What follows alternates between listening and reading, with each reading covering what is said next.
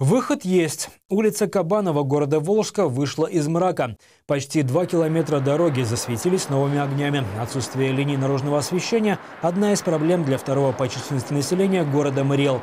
К примеру, на Кабанова раньше люди ходили буквально на ощупь, что заставляло нервничать и пешеходов, и водителей. По статистике ГИБДД, этот участок дороги, соединяющий микрорайон Машиностроитель и центральную часть города, был одним из самых аварийных. С этой проблемой к руководителю региона Александру Евстифееву всего жители Волжска обратились в апреле текущего года. Решение не заставило себя долго ждать. В сжатые сроки установлено 50 современных фонарных столбов, включенных в единую систему уличного освещения. Мы с вами а, сейчас рассматриваем результат э, государственно-частного партнерства.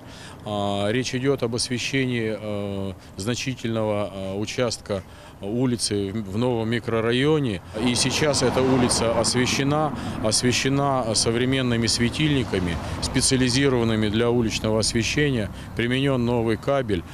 Система освещения включена в общую систему освещения города Волжска включается и выключается вместе со всем освещением города. И я надеюсь, что этот пример а, будет заразительным в самом хорошем смысле этого слова, потому что сколько бы мы ни говорили о трудностях, но в своем доме порядок можно навести, если а, мы вместе возьмемся за эту работу, за наведение порядка.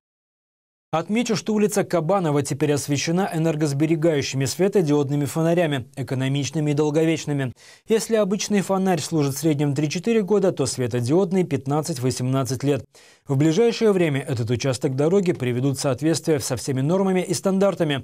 На дорожное полотно не нанесут разметку, установят дорожные ограждения и знаки. Впрочем, это только первый этап комплексной программы по созданию комфортной среды в Волжске.